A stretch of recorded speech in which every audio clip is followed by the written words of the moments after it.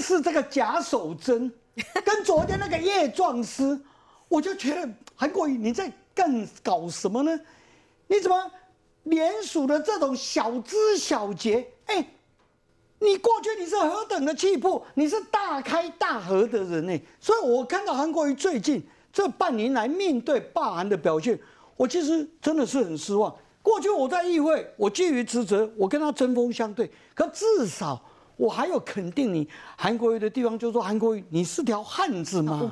你要不是不是这样吗？哦，所以我看着他现在这样子，我不生唏嘘。第一点呢，吼，我认为韩国瑜他是他的整个过程，整个崛起，我认为韩国瑜是中了吼政治漏乐透了，哦，他中了政治乐透，他成了政治暴发户。不过我们。大家如果去检视吼，其实国内外各种乐透哦，其实中乐透的人绝大多数都吼，这个都是诶破产收场了吼。那所以我大概看到韩国瑜怎么他是走上这样子的路程吼。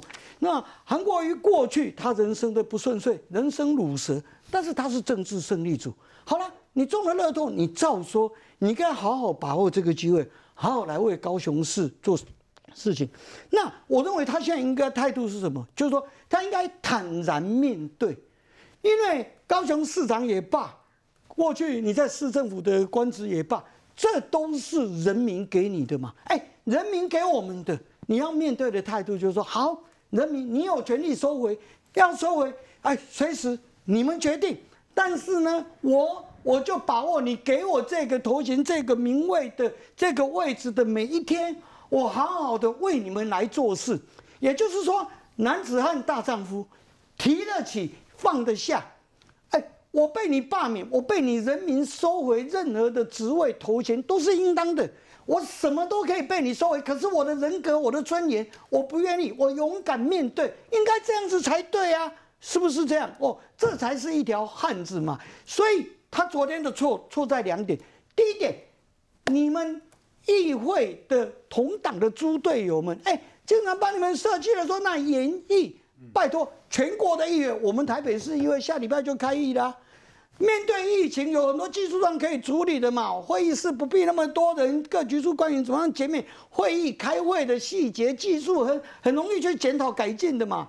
那你要面对议会的咨询，面对议会就是面对高雄市民啊，不是这样子吗？你什么都可以闪躲，你怎么可以闪躲对议会的执行？这一点你未战却战，这本身就是心虚了嘛。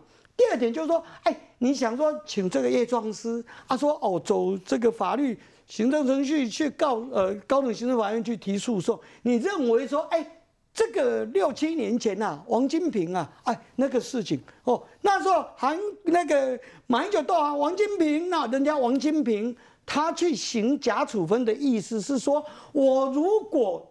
一气之间被马英九的一张状子来把我的立委取消，我院长就没了，这是不可恢复的损失嘛？但是你韩国瑜这个不一样啊，你这不是不可恢复，你这只是人民去行使罢免权，决定的还是高雄市民，所以我认为这完全截然不同的，不是不可回复的，而是把决定权交给高雄市民。那本来这个事情，高雄市民选你当高雄市长，高雄市民很多人觉得说啊，他好像上当了，觉得哎投给你啊，你怎么又去选总统？所以高雄市民是受害人，受害人才有原谅的权利。